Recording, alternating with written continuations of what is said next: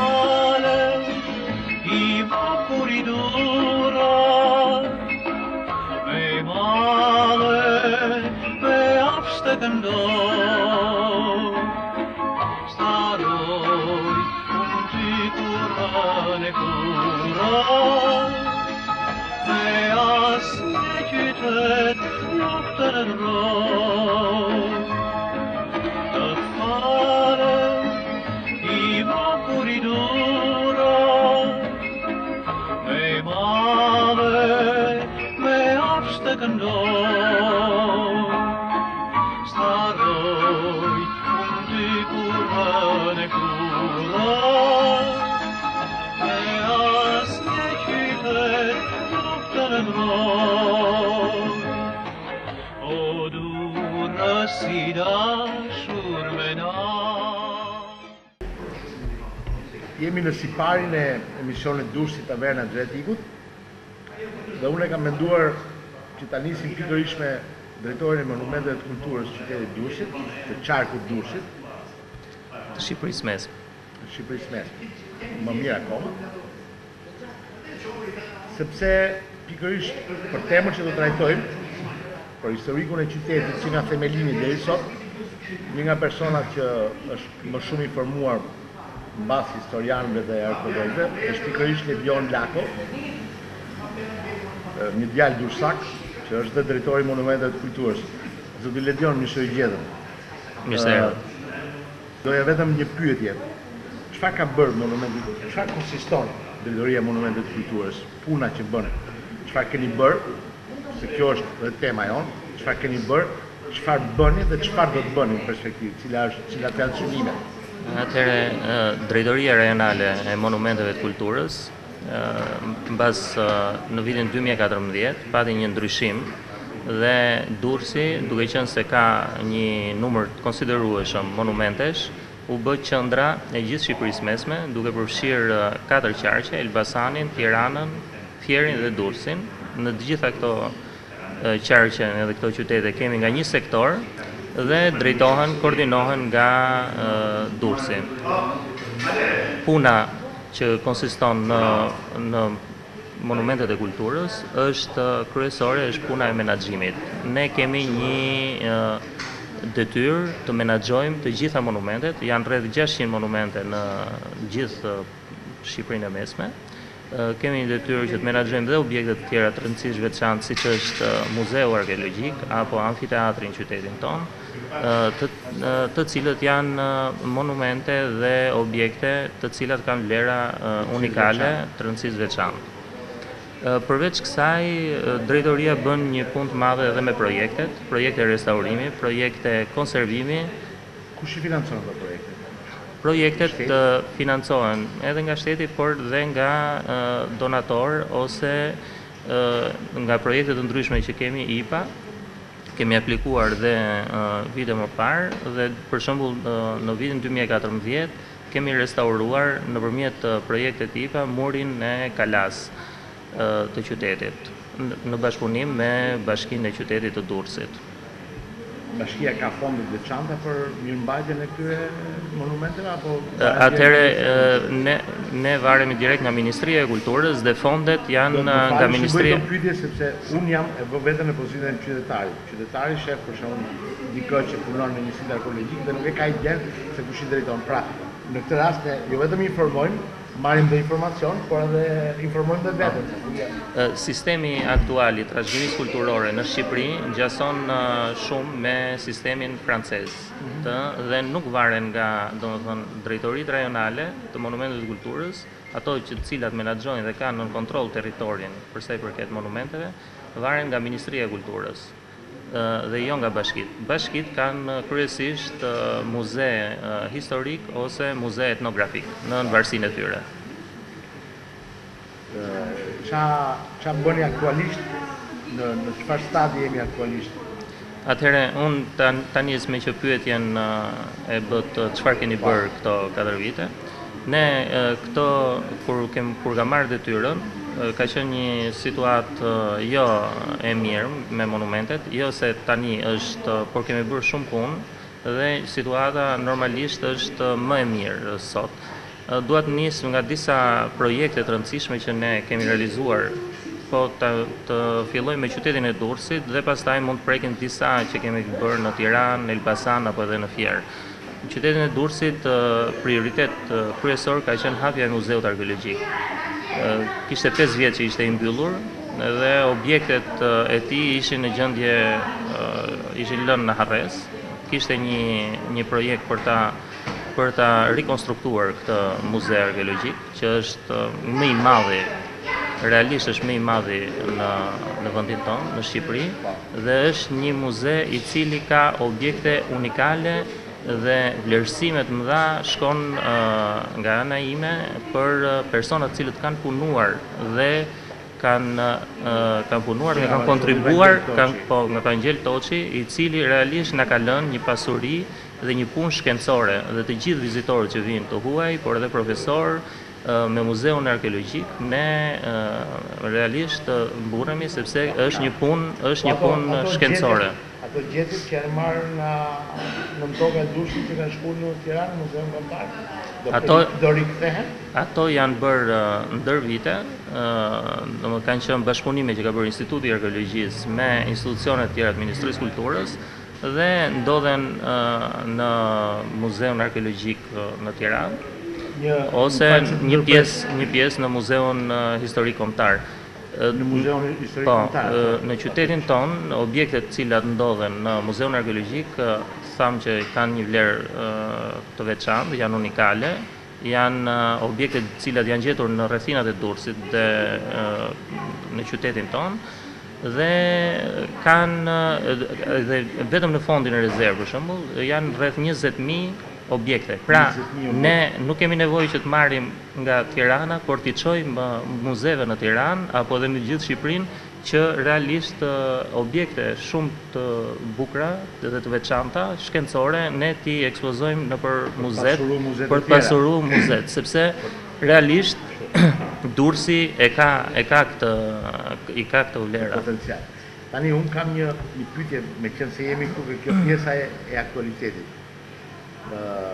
Shumë pallate, Në Durrës, në nëntokën e tyre kanë arkeologji dhe kanë ndërhyrje. Pra, janë lënë të shikueshme, të vizitueshme. Pra, çfarë projekti keni ju si Drejtori e Monumenteve të Kulturës, unë mund të të them dy, tre. Unë nuk i njoh të gjithë, domethënë, por tani kemi atë ke ish 1 Maji. Kemi këtë këtu ke Te Rotonda kemi këtë ke Portiku, disa, janë dhe disa të tjerë që tani për efekt televiziv nuk po nuk po i përmend, po di që ka që ka dhe mozaike më poshtë.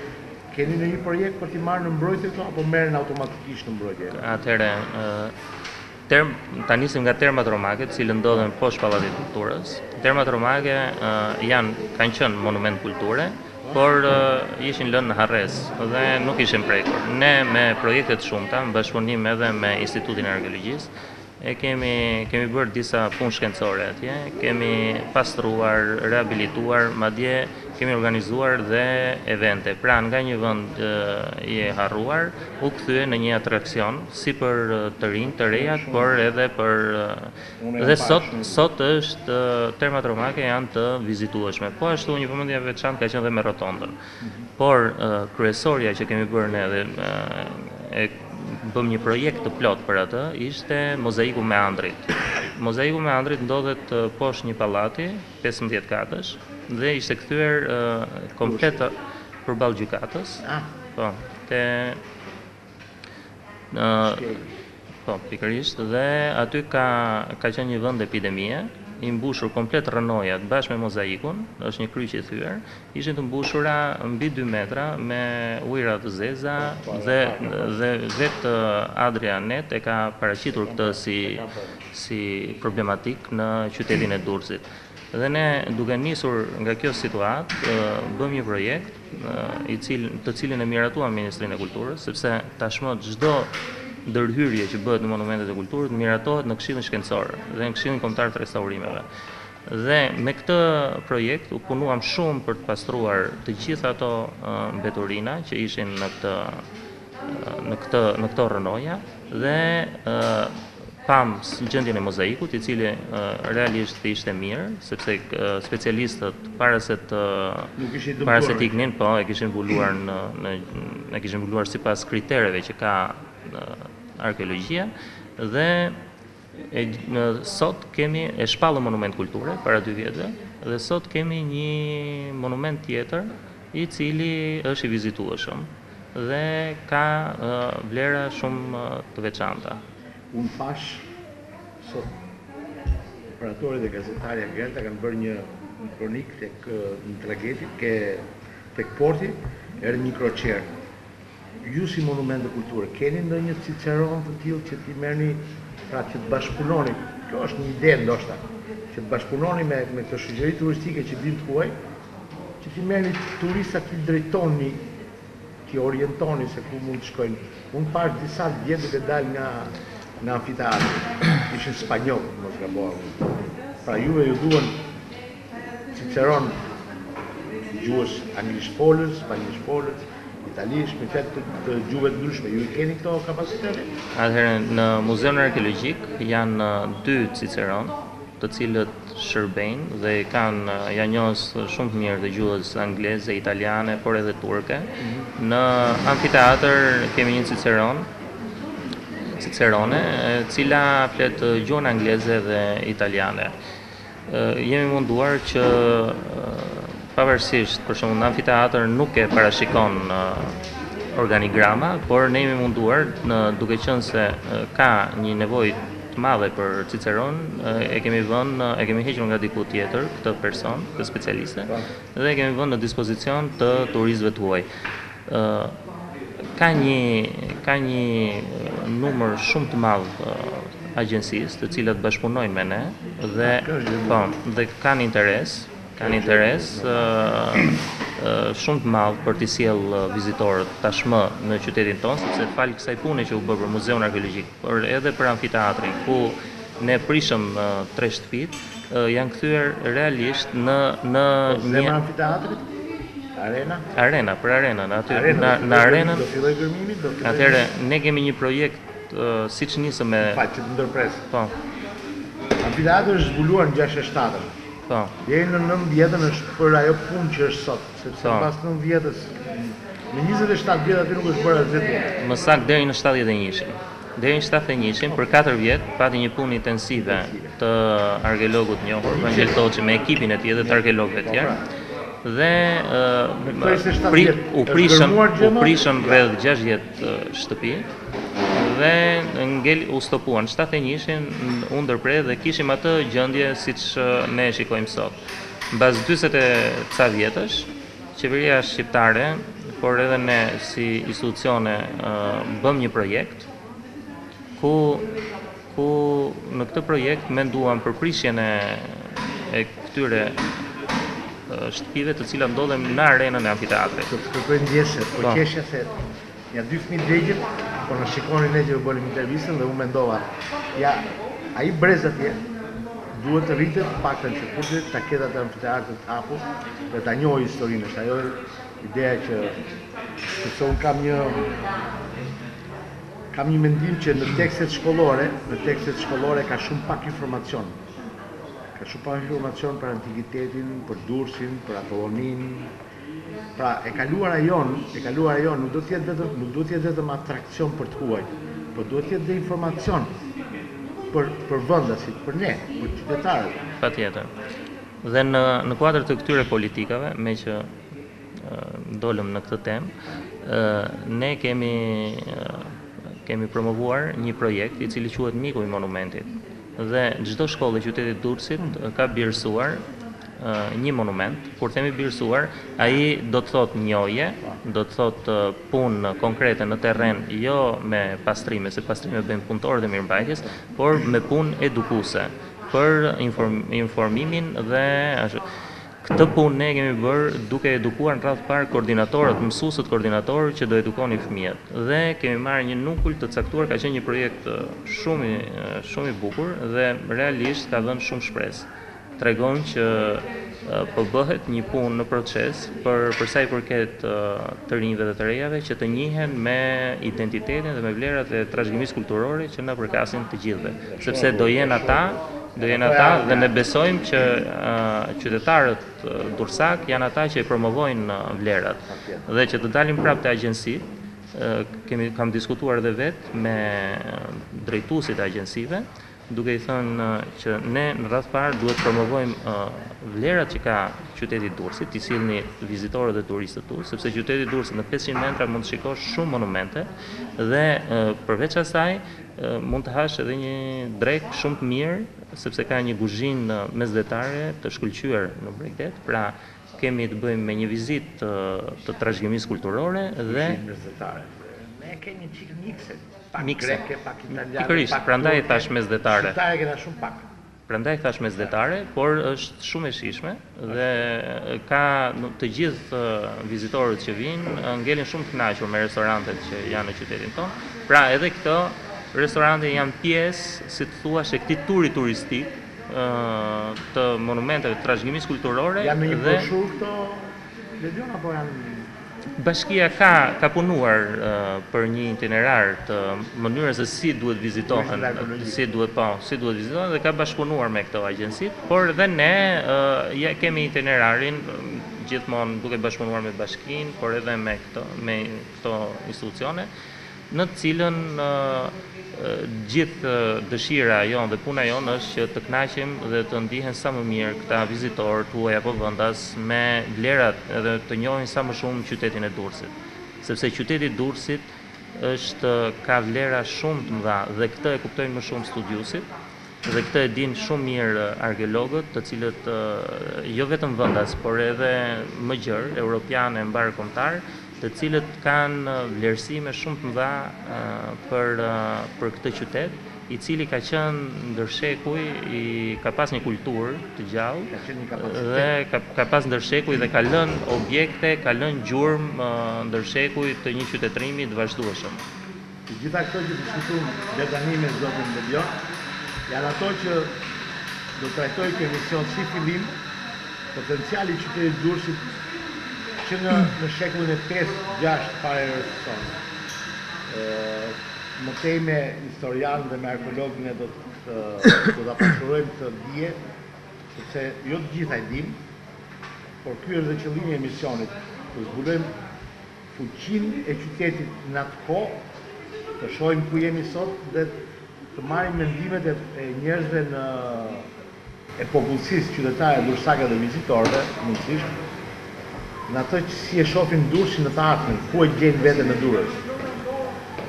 Ju falenderoj Lexhon për këtë intervistë të siparit të këtij emisioni, shpresoj që të kemi dhe bashkëpunim tjetër. së bashku. Kënaqësi. Jemi në siparin e hapjes së emisionit Durrësi Taverna e Adriatikut. Unë për ata që më njohin e dinë që jam poet, për ata që s'më njohin ta mësojnë tani që jam poet dhe një nga dashuritë më të mëdha që kam është poezia, por mas poezisë është historia, arkeologjia. Për këtë unë Kam thirrur sot në këtë intervistë të veçantë një nga njerëzit më të shquar të arkeologjisë shqiptare dhe durrsake, Profesor Doktor Fatos Tartari. Është një person që unë e adhuroj për dijet, për punën, për vetëmohimin që ka bërë në zbulimin e arkeologjisë durrsake dhe asaj shqiptare, për evidentimin e vlerave. Është ajo tema që ne do të trajtojmë.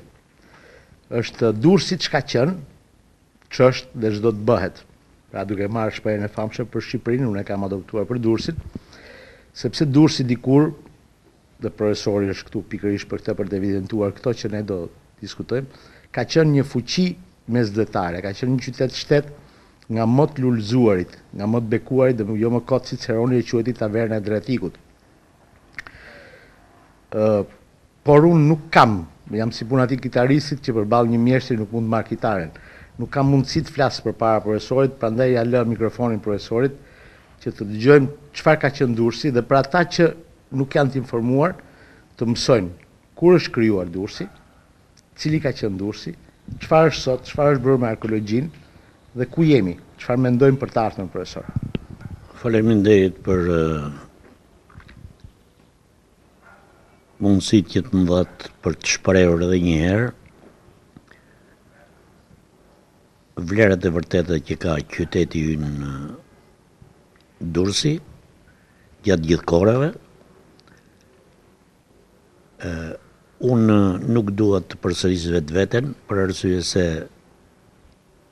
kam bërë biseda, kam dhënë intervista, sidomos gjatë këtyre kohëve të fundit, dhe kam prekur edhe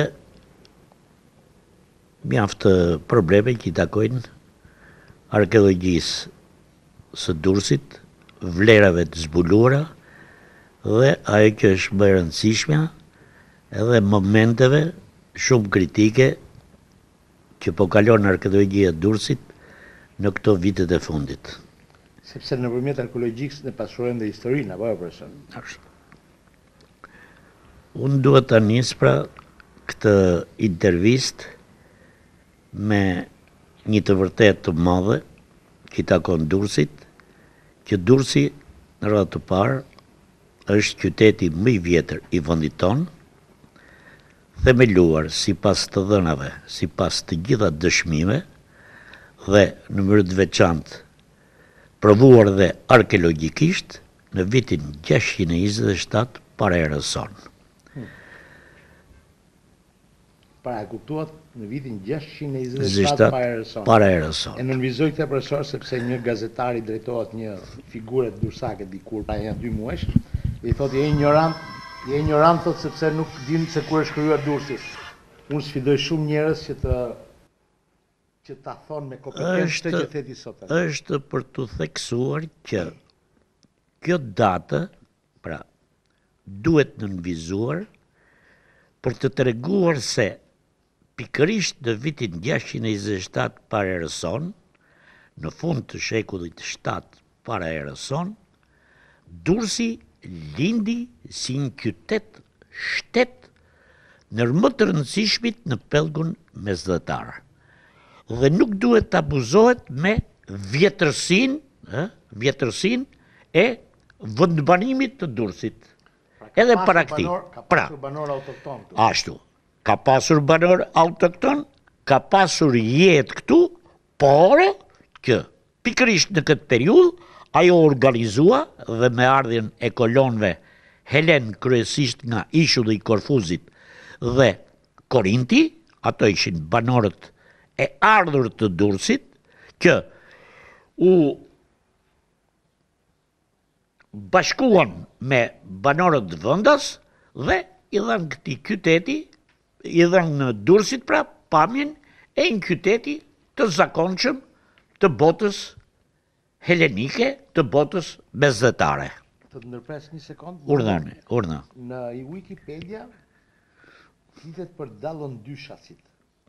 Flitet për mbretin Monun dhe të birin e tij Dyrrah. Do vijmë dhe aty çik më vonë, dalëngadalë. Pra, pra këto janë malësorë, ë?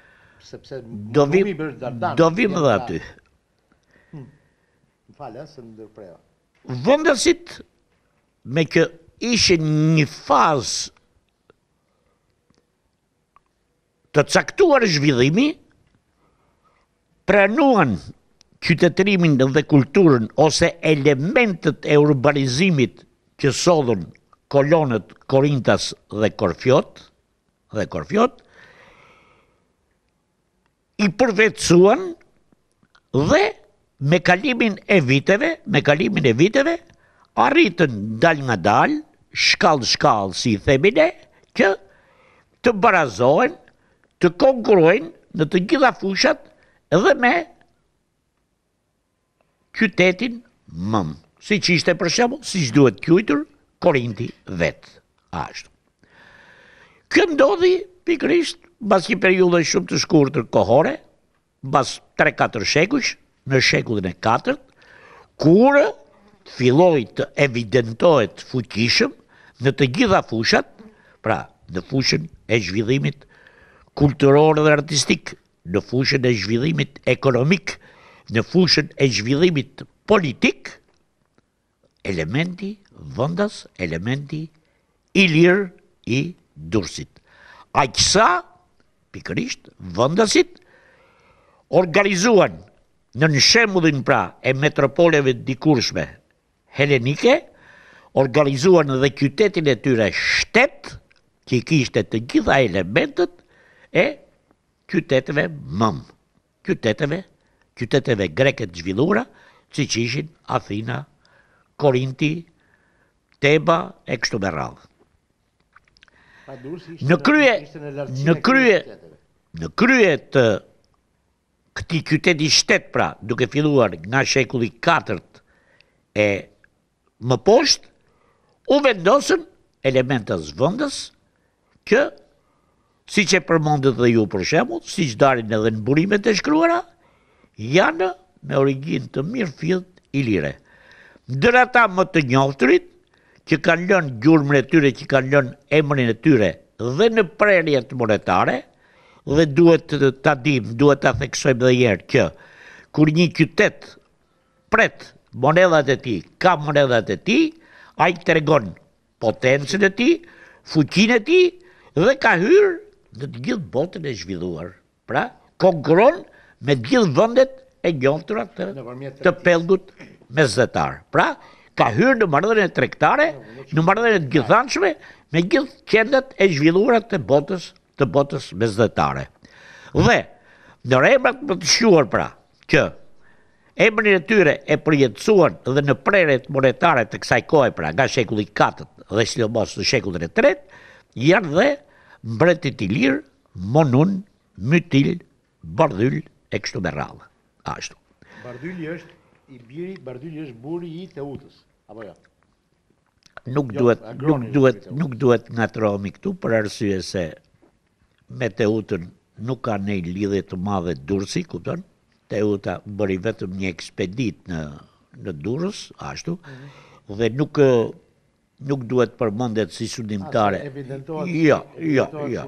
Si mbretëreshe e ilirëve, por me kryeqendër Durrësin. Me kryeqendër Shkodrën. Po pastaj erdhi në Durrës. Po nuk u vendos në Durrës. Nuk u vendos. Jo, nuk u vendos në Durrës. Atëherë pra, këto dy mbretër dhe pasardhësit e tyre lënë pra gjurmë në prerjet monetare të qytetit. Dhe pikërisht në kohën e sundimit të tyre, Durrësi pra merr përfundimisht fizionominë e një qyteti shtet që mund ta quajmë Vendas autoktone ilir, ku dominon elementi ilir.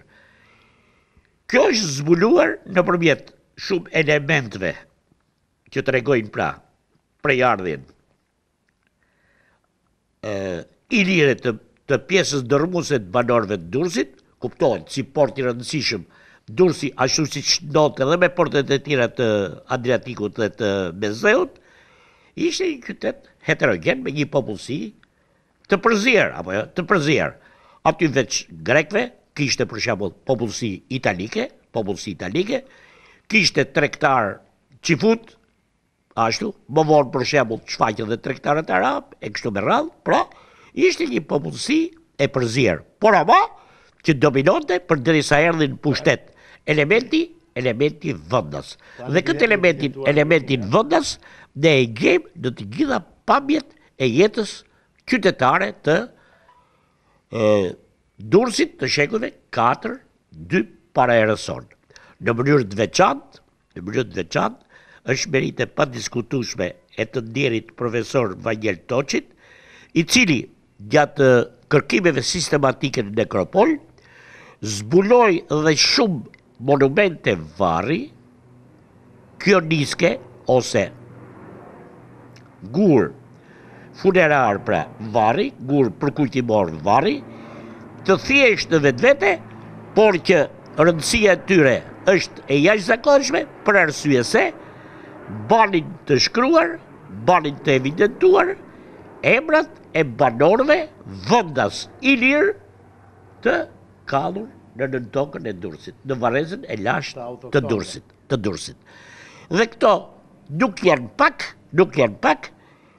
Në radhë të parë shpjegohen vetëm nëpërmjet gjuhës shqipe, gjuhës shqipe ose fonemave të ilirishtes së kaluar, e cila...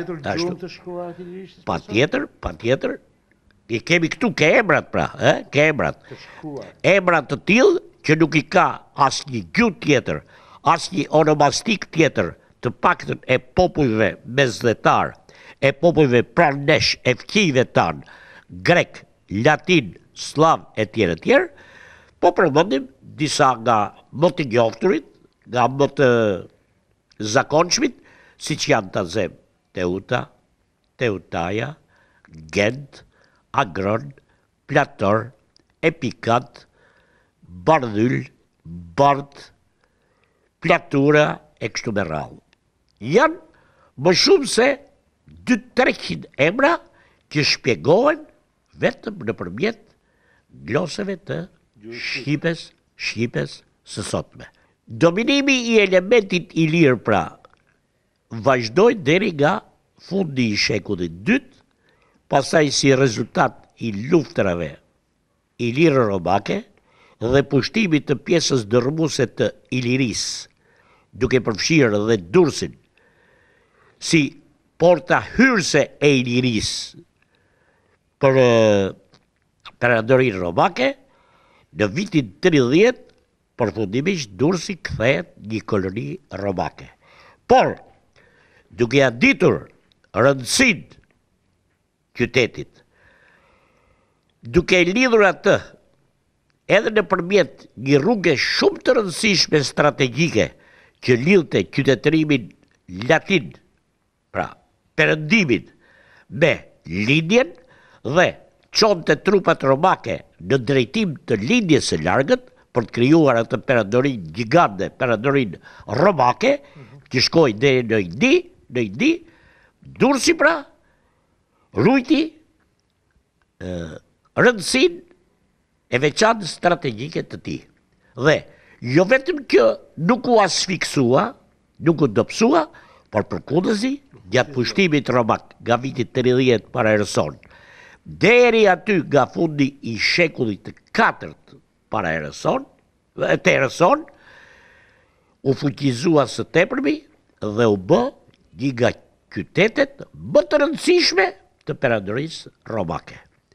Për t'u theksuar është që, që nga themelimi i tij, që nga viti 627 para erës sonë, ndryshe nga shumë qendra të banuara të Mesdheut, Durrësi pati një histori Shumë të gjatë, të pandërprerë, të pandërprerë dhe me shumë kulme në zhvillimin e tij, qoftë urban, qoftë social, qoftë ekonomik, qoftë dhe politik. Ne përmendëm tashti Deri në këto momente, dy tre nga këto kulmet, siç ishin ta zëmë, autonomia dhe pavarësia e tij me mbretërit Mytil dhe Monun, që elementi ilir i Durrësit u bë dominant dhe Durrësi nuk kishte më nevojë që të runte lidhjet e kahershme kolonizuese T'i themi kështu, pra në raportet metropol dhe qendër tjetër e banuar, ë, lidhjet e ndërvarësisë, ë, e ndërvarësisë, mos përmendim në term tjetër për shembull të skllavërisë e ku di unë çka, por pra këto lidhje rujti pra dhe forcoi autonominë dhe pavarësinë e tij. Aq sa pikërisht në këta në këta shekuj 4 dy kemi dhe tendencat e e para të formimit të shteteve ilire, siç janë shteti i Taulantëve, i Enkelejve, i Dardanëve Ardianëve e kështu me radhë. Gjatë pushtimit romak tashti, duke e konsideruar Durrësin si portin e rëndësishëm të Adriatikut, një qendër me rëndësi strategjike sidomos pas ndërtimit të rrugës Egnatia, Durrësi pati një shkëlqim, një shkëlqim të dytë që rrallë qendra të tjera të këtij pellgu, E kanë pasur ose e kanë dhe sot e kësaj dite. Qyteti u bë ndër të parët rezidencë e elitës së qytetarisë romake. Në Durrës dhe në Apolloni ose në Butrind, Edukoheshin, merrnin mësim, banonin, vendoseshin, përfaqësues të familjeve më të shquara romake, siç ishin valerët, përfaqësuesit e familjeve mbretërore perandorake të Augustit, nga fisi Emilia e kështu me radhë. Mjafton, mjafton, mjafton të kujtojmë, mjafton të kujtojmë që për Durrësin dy nga pretendentët kryesorë, dy nga perandorët më të famshëm të perandorisë romake, Cezari dhe Pompeu, u përleshën dy herë radhazi në afërsi të Durrësit për marrjen në zotërim të qytetit të Durrësit. Në Durrës për një kohë të gjatë jetoi dhe Ciceroni, oratori i famshëm romak, një nga politikanët më të mëdhenj romakë të kësaj periudhe, të periudhës augustiane. Dhe Ndër përshtypjet e tij, në veprën që na që na ka lënë, në ato që na kanë që ne kemi trashëguar nga burimet e shkruara, ai shprehet me admirimin më të madh të qytet, për qytetin, duke e quajtur admirabilis urbs.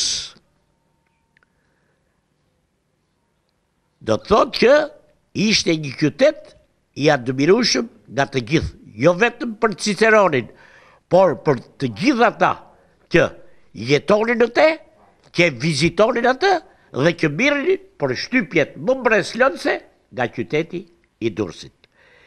Kaq e vërtetë është kjo, sa që Pikërisht në këtë periudhë për të cilën flet Ciceroni, në këtë periudhë kur përlesheshin Cezari dhe Pompeu dhe në mënyrë të veçantë në periudhën augustiane që karakterizohet nga një nga ndërprerja e luftimeve, nga një paqë e përkohshme që zgjati rreth njëqind e pesëdhjetë, dyqind vjet, Durrësi u pajis me gjërat më të rëndësishme, me monumentet më të mëdha që ndërtoi Roma ndër shekuj. Përmendim këtu në mënyrë të veçantë, përmendim këtu në mënyrë të veçantë pra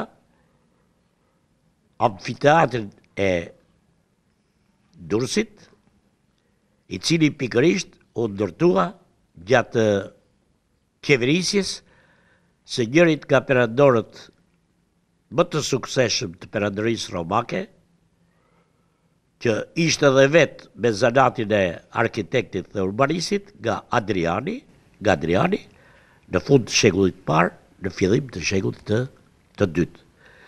Amfiteatri i Durrësit me aq sa është zbuluar sot rezulton që të jetë unikal pra në gjithë territorin e vendit tonë, në territorin e Shqipërisë, por njëkohësisht nga më të rrallët dhe në gjithë territorin ballkanik. Për nga kapaciteti i tij, Pesëmbëdhjetë deri në shtatëmbëdhjetë ose tetëmbëdhjetë mijë shikues, ai renditet ndër dyqind e njëzet amfiteatrot e njoftura të botës të botës antike, më saktësisht të botës romake, për arsye se amfiteatrot janë monumente që u ndërtuan vetëm nga Roma, apo jo, që pasuruan jetën kulturore, jetën artistike të të popujve që iu nënshtruan pushtimit romak vetëm gjatë gjatë kësaj periudhe. Grekët nuk i njihin amfiteatrët, grekët kishin si monument kryesor të tyre, kishin pikërisht teatrët, odeonet, bibliotekët e kështu me radhë. Por në këtë periudhë, Durrësi u pajis me dy ujësjellës shumë të rëndësishëm, që ishin projekte jashtëzakonisht të guximshme hidraulike me ujësjellësin e madh tetëmbëdhjetë kilometra të gjatë që fillonte nga Pjeshkëza e Ndroqit dhe i sillte ujin e pijshëm nëpërmjet shumë veprave inxhinierike të shkëlqyera siç janë tunelet, kanalet nëntokësore ose kanalet mbitokësore, rrjeti i tubacioneve, llogaritja e pjerrësive hidraulike e kështu me radhë, derisa i binte ujtin e pijshëm qytetit të Durrësit. Duke llogaritur pra kapacitetin e amfiteatrit, sipas raporteve që jipte arkitekti i famshëm i antikitetit Vitruvi, që për këto ndërtime të mëdha, raporti ishte Në raport kuptohet me popullsinë e qytetit një me pesë. Në qoftë se amfiteatri, në qoftë se amfiteatri është pra i kapacitetit pesëmbëdhjetë deri në shtatëmbëdhjetë mijë spektatorë, atëherë i takon që Durrësi të kishte një popullsi prej afro njëqind mijë banorësh, që ishin të rrallë qytetet edhe një herë që thamë, në pellgun e Mesdheut, që e kishin këtë popullsi dhe këtë Dëndësi pra dëndësi banimi siç e kishte qyteti i Durrësit.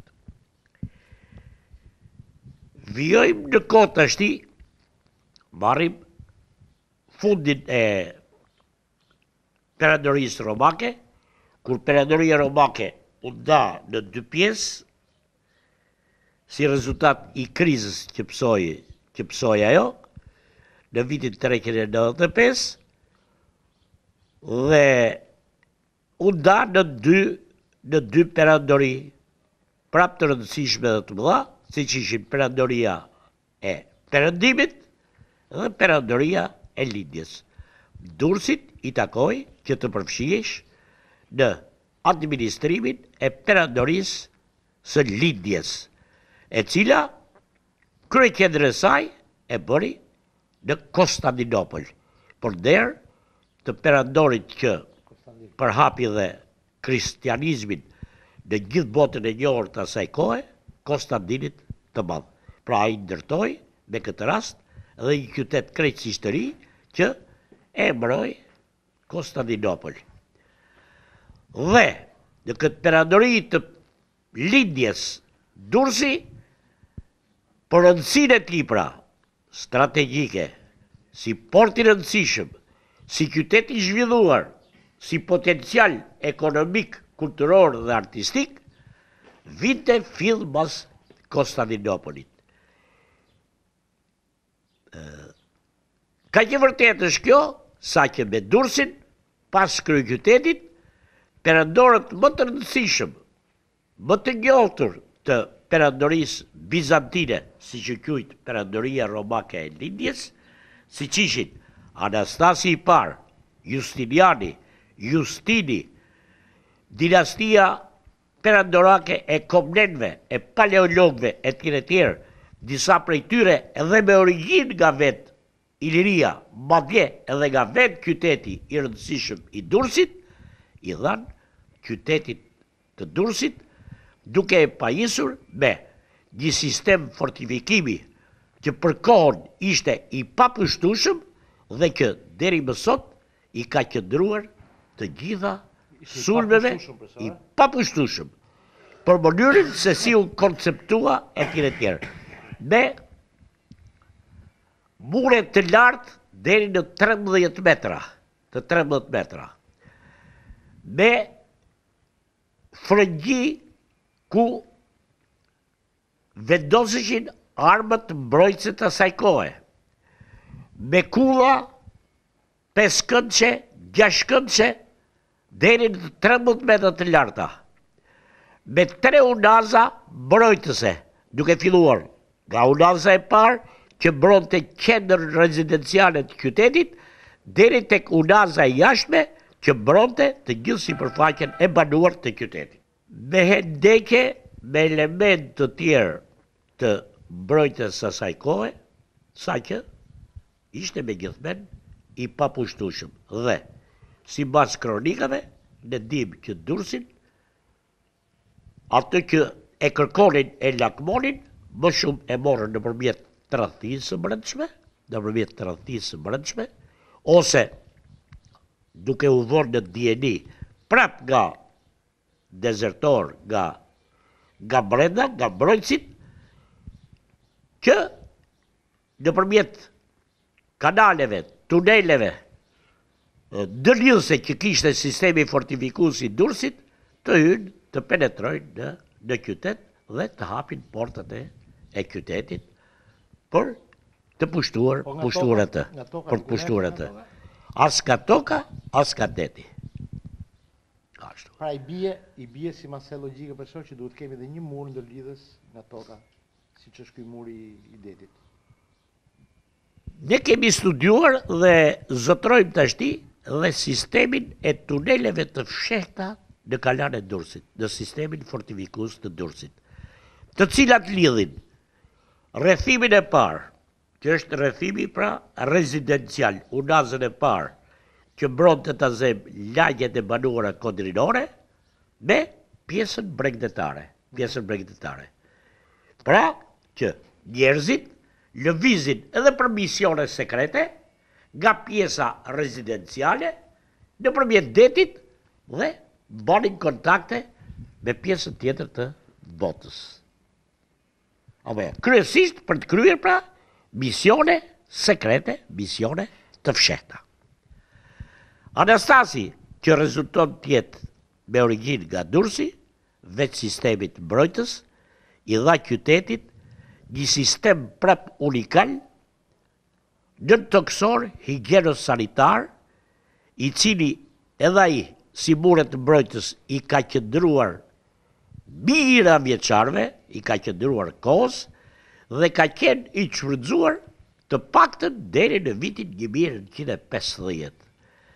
Mjafton të tregojmë disa përmasa të këtyre kanaleve nëntokësore, siç është për shembull rasti i kolektorit, pra kanalit kryesor që kalonte mes për mes qytetit dhe tërhiqte ujërat e shiut dhe ujërat e zeza në lagjet më të banuara, në lagjet më të populluara të qytetit të Durrësit, duke i derdhur në det, që ishte i lartë 2 metra 20, 2 metra 20 i lartë, Dhe një metër e tetëdhjetë i gjerë. Të të ndërpresë një sekondë. Urdhëro. Atëherë, unë kam parë disa nga këto kanalizimet, ujësjellës, i kam parë në në sitin arkeologjik që është përballë postës, se kemi parë edhe bashkë. Po. Tani, Kjo që mua më bën kurioz është që Durrësi në atë kohë ka qenë tetë metra e shtatëdhjetë nën nivelin e detit, sepse atje aq është gërmimi. Atëherë si ka pas mundësi profesor kjo vepër inxhinierike e tillë që të kullonin ujërat e shirave dhe të derdheshin në det? Mos vallë dhe deti ka qenë më poshtë? Patjetër. Patjetër këto janë të pranueshme, por atë që the ti si lartësi stratigrafike si e quajmë ne, ajo nuk është nuk është reale për arsye se në asnjë pikë edhe sot e kësaj dite, megjithëse janë bërë gërmime të të posaçme, nuk është arritur në asnjë lagje të Durrësit, në asnjë pikë të Durrësit, deri deri në tabanin, në tabanin Tabanin origjinal të qytetit, ë, pra, në fundin e qytetit, që s'ka pasur asgjë, asnjë shenjë qytetërimi, mbi të cilin janë ndërtuar qytetërimet në vijim. Ashtu. Ë, sipas studimeve më të fundit, stratigrafike etj etj, ne kemi zbuluar gjurmë të Qytetit të vjetër, qoftë qytetit arkaik ose prehistorik, qoftë qytetit antik ose klasik, deri në tetë metra thellësi, deri në tetë metra thellësi. Si ndërtoheshin këto ujësjellësat, këto Ashtu. Dhe, nëpërmjet një gjeo shumë të saktë të terrenit, të pjerrësive që i dilin inxhinierët e kohës, ashtu, që ato nuk të falin, nuk të falin, duke ndërtuar dhe vepra inxhinierike, simbas, simbas vendit. Ta zëmë, ta zëmë, ta zëmë, marrim, marrim kënetën, marrim kënetën. Megjithëse këneta është relativisht e re, këtu e 1500 vjet përpara e krijuar, por sidoqoftë, para se të krijohesh kjo ujëmbajtëse gjigante, siç do ta themi, pra Paluda, këneta e Durrësit, kishte pendje, pendje me ujë, apo kishte pendje me ujë, por më tepër pastaj dhe argjilë që fundosesh toka, vithisesh e tjere tjere, llogaritur pastaj dhe fundosjet tektonike, Ato goditje sizmike, qoftë vertikale, qoftë horizontale e diçka, që kanë qenë si objekt studimi i inxhinierëve të lashtësisë dhe të mesjetës. Në Kënetë, për shembull, sapo futesh tubacioni kryesor i ujësjellësit të Durrësit, atëherë për të ruajtur pjerrësinë, u ndërtuan bazamente shumë të fuqishme, do t'i quajmë sot prej betoni, por që n'atë kohë nuk njihesh betoni dhe forcinë e betonit e realizonte llaçi, ë, llaçi hidraulik, shumë i fuqishëm, i përbërë kryesisht nga gëlqere, nga zhavori i imët, përzier pastaj me substanca të tjera që i jipnin atij tamam forcinë e, forcinë e betonit. Dhe, mbi këto bazamente, bazamente betonike, t'i quajmë kështu, ndërtoheshin harqe, harqe, Dhe mbi harqe, siç ndodh, marrim për shembull ujësjellësin e Gjirokastrës sot në qoftë se kemi parasysh se ai është më i rujturi, megjithëse është i një kohe shumë më të vonë i mesjetës, i mesjetës, që për të rujtur pjerrësinë për shembull, ndërtoheshin dhe harkatat në bazë të një pjerrësie të llogaritur saktësisht nga ana matematikore dhe Vinte pastaj në pjesën e ulët të qytetit, duke u shpërndarë pastaj nëpërmjet çezmave monumentale, çezmave dekorative dhe tubacioneve të tjera, qoftë prej plumbi, qoftë prej qeramike, në lagjet më të popullura të qytetit. Pra, pra mund t'i quajmë me plot gojën vepra inxhinierike. Vepra inxhinierike të përsosura, unë ju përmenda vetëm këto bazamentet edhe harqet, bazamentet dhe harqet. Po një, një kryevepër për shembull dhe e inxhinierisë hidraulike është tuneli, tuneli i kodrave të Rashbullit dhe Arapajt, I shpuar pra nga Shkallnuri, nga Shkallnuri, ku fillon dhe futet tu bajsi, tu, tu bajsiasi, po e kemi, është i rujtur. Pra, shpohet gjithë kodra të paktën në thellësinë 20 metra. Më dhe jërë dojnë dashër vik? 20 metra. Dhe kalon gjithë balli i kodrave të Shkallnurit dhe Arapajt. Dhe del afërsisht aty ku fillon këneta. Në tunelin, tunelin ku kalon muri treni, ku kalon treni. Muri ku ishte në këtë rast? Si muri ku ishte? Muri rrethues i tokës. Ku i bjen të jetë? Kjo i ndërtuar aty. I ndërtuar në thellësi. Pra, hapet pra, tuneli, hapet tuneli, jo betonizohet, tunelet betonizohen sot. Kurse në atë kohë, Ndërtimi kryesor, materiali kryesor ishte tulla me llaçin hidroizolus. Pra, të gjithë, i gjithë ky tunel, që është me kilometra, 3-4 kilometra, ashtu, është i ndërtuar me tulla. Dhe pastrimi i tij dhe kontrolli i tij në thellësi deri 20-22 metra bëhet prapë me ndërtime tullash në formë pusetash. Në kohën e Anastasit, Durrësi të paktën rujti shkëlqimin e periudhave pararendëse, të paktën shkëlqimin e asaj periudhës që do ta quajmë ne augustiane ose të perandorit Adrian, me këto ndërtimet madhështore etj etj, që u pasuruan nga Anastasi, me sistemin e fortifikimit, me tre unazat mbrojtëse të qytetit Durrësit, me sistemin e shkëlqyer nëntokësor higjieno-sanitar të Durrësit, me hipodromin dhe të ndërtimeve të mëdha, kryesisht të karakterit fetar, bazilika madhështore, siç është, ta them, katedralja e zbuluar kohët e fundit në qendër të qytetit Durrësit dhe të shumë kishave dhe katedrale të tjera, ose për shembull përmendim katedralen e madhe, katedralen madhështore të Arapajt, në dalje të Durrësit, që janë nga ndërtimet më të mëdha kishtare në krejt Pellgun ballkanik, ashtu, me një bosh ta zëmë prej 80-90 metra. Si? Ça besimi ishin? Kristian, kristian, kristian. Kur filloi? Kristian ortodoks apo kristian katolik? Shiko, nuk ka ndarje këtu. Në këtë periudhë që po flasim ne nuk ka, jemi pa ndarje. Mhm. Nuk është ndarë kisha. Mhm. Ashtu, nuk kemi skizëm.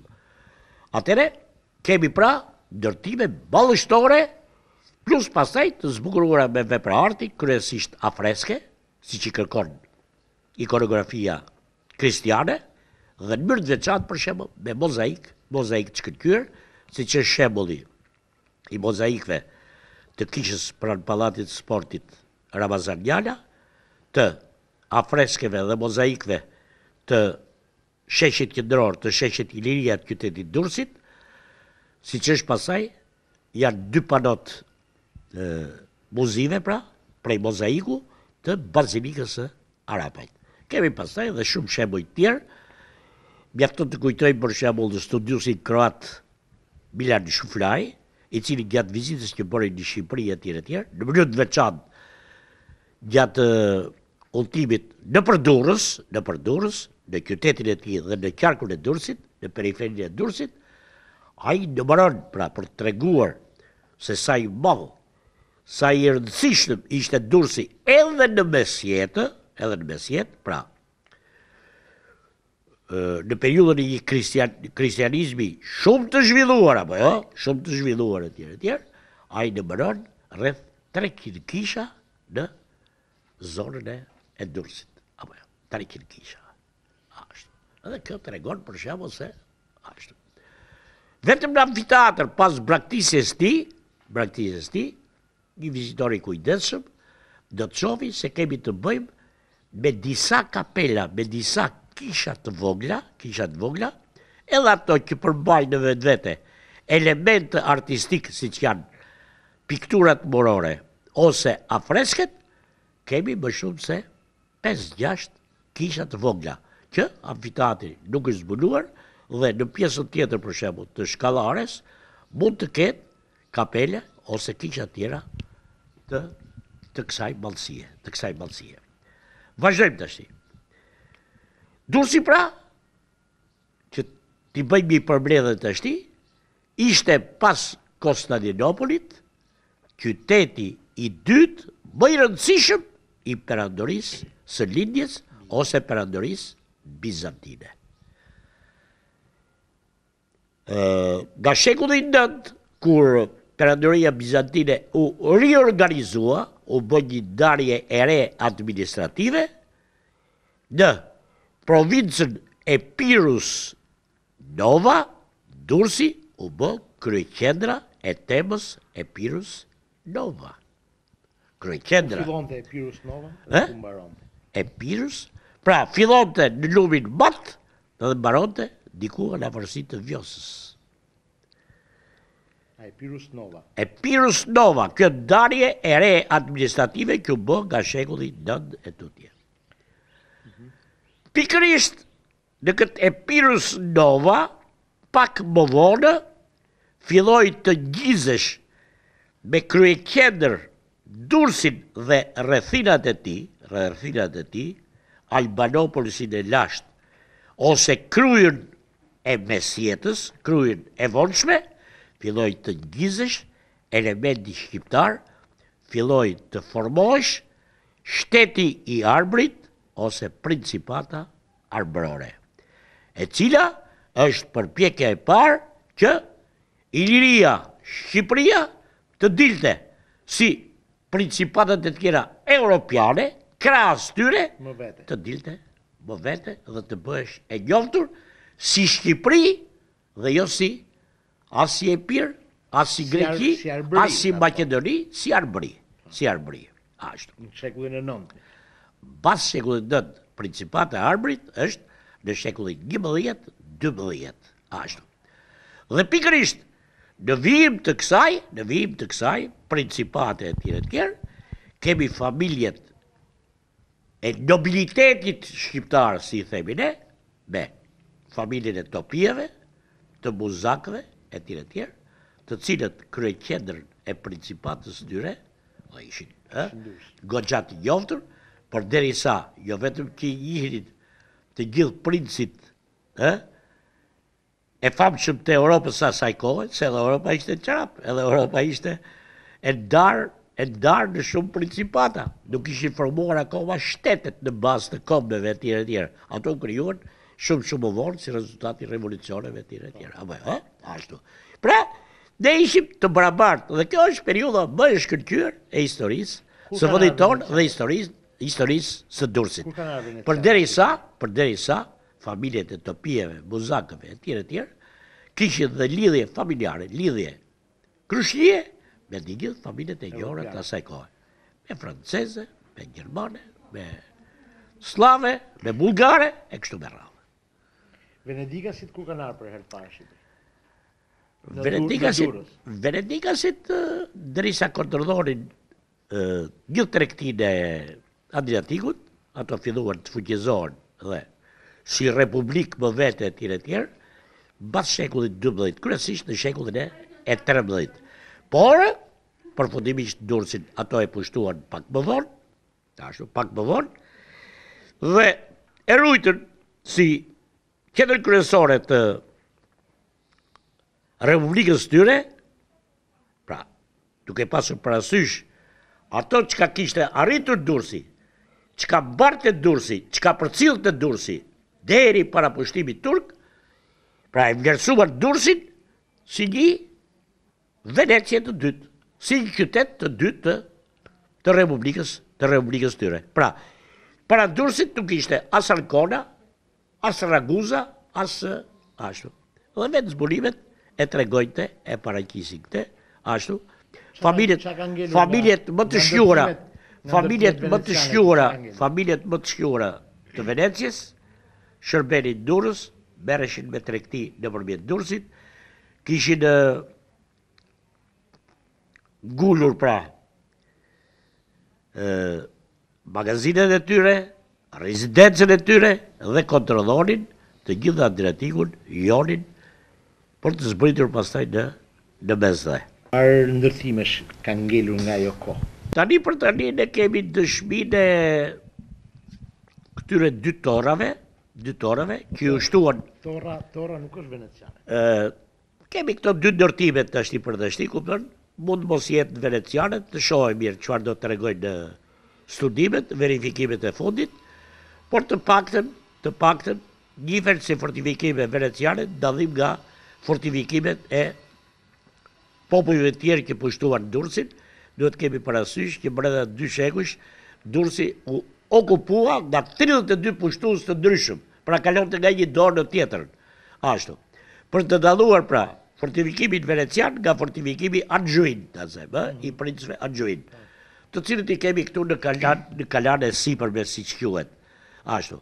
Të paktën t'i qëndrojmë kësaj, ndonjë element tjetër për shembull që vjetër e në qytet, një rrënojë tjetër që qoftë ka dalë, qoftë dhe mund të dalë me kalimin e kohëve, por që Shumica e tyre janë janë zhdukur, siç po zhdukim shumicën e dëshmive historike, kryesisht të mesjetës dhe të antikitetit.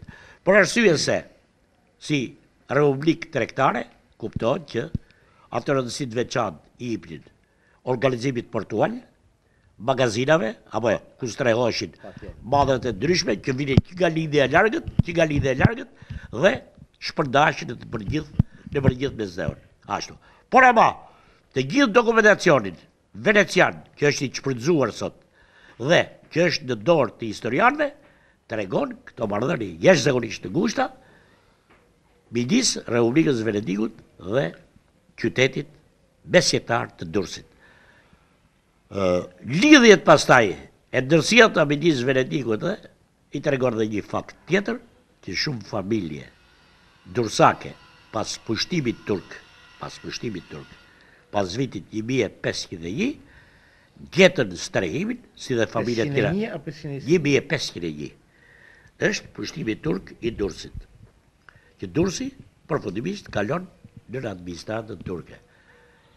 Është që shumë familje pra durrsake ose nga krahina të tjera të Arbërisë, të Arbërisë, u vendosën në Venedik dhe sot e kësaj dite janë nga familjet më të shquara të, siç ka dhe për shembull familja e famshme Durazzo në Genova. Durazzo? Durazzo, po, mbiemri Durazzo.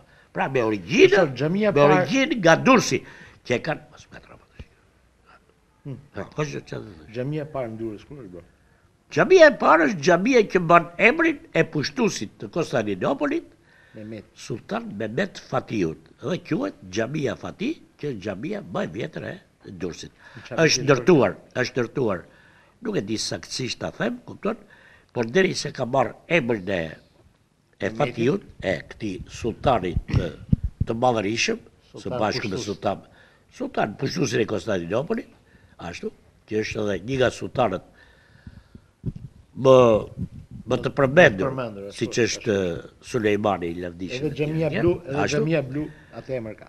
Themi që pak Pak pas pushtimit, pushtimit otoman, ashtu. Me një fjalë nga shekulli, fundi i shekullit 16, 16 e kon, 16, 17 diçka e tillë. Dhe është ndërtuar, është ndërtuar, ashtu siç vepronin turqit në shpejtësi për të përhapur islamizmin, që ngaqë nuk kishin kohë për të ndërtuar për shembull xhami të reja, i vendosnin mbi themelet e kishave të vjetra. Ah, kishave të vjetra. Pra, xhamia Fatih është ndërtuar mbi themelet e një kishe. E njërës prej këtyre kishave që përmend Shuflaj që thashë, nga 300 kishat e famshme të Durrësit. E ardhmja e Durrësit mbështetet ose duhet të mbështetet mbi të shkuarën e tij që ia kanë zili Jo vetëm qendra të tjera antike të vëndit tonë, por shumë qytete të mbarë pellgut mesdhetar, të mbarë Mesdheut, duke përfshirë dhe vetë Athinën, Athinën vetë, apo jo. Athina ka pasur një shkëlqim, ta zemë, disa shekullor, por ama ka pasur dhe katastrofa të tmerrshme, saqë u katandis për shembull në një vendbanim krejtësisht të parëndësishëm me dy treqind shtëpia dhe ajo që është akoma më e bukur që popullsia e këtyre dy treqind familjeve e tjere tjere ishte në pjesën më të madhe arvanitase, shqiptare.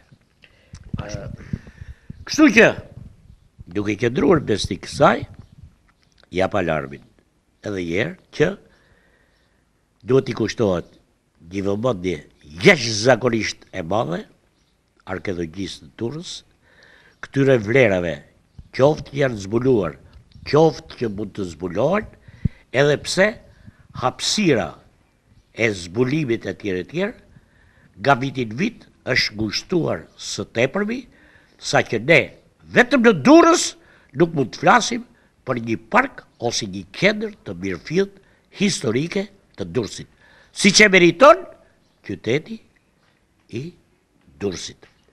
Dhe përfitoj nga rasti, përfitoj nga rasti që t'i drejtohem qeverisë pushtetit vendor dhe qytetarëve të Durrësit që Të shpëtojmë çfarë mund të shpëtohet tashti në mënyrë që Durrësi të paraqitet në botën turistike, në botën e sotme me atë dinjitet, me atë personalitet, me ato vlera që ka përcjellë gjatë shekujve. Deri më sot. Ne ishim me profesor doktor Fatos Tartarin, Ndoshta arkeologu i vetëm i mbetur nga brezi i lavdishëm i atyre kohërave që filloi zbulimi i këtij të amfiteatrit dhe i arkeologjisë durrsake, ishim pikërisht për të marrë leksionin e historisë së krijimit të Durrësit deri në ditët e sotme. Ne do vazhdojmë intervistat edhe me persona të tjerë me figura të shquara të historisë kombëtare. Por e mbyllim këtu këtë intervistë me profesor Fatosin duke e falenderuar shumë për predispozicionin e tij dhe ruajmë të drejtën si miq dhe si dashamirës të tij dhe të historisë e të arkeologjisë që nëse do të na duhet Një informacion tjetër apo një intervistë tjetër ti je gjithmonë i disponueshëm apo jo?